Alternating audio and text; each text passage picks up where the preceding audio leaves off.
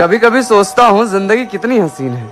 हवा, पानी, पेड़, पौधे, हमारे पास आसमान, ज़मीन है। खूबसूरत है ये जहान और इसमें उससे ज़्यादा गम। इस पूरे जहान में जगह है, मगर फख्र की बात है कि हिंदुस्तान में है हम।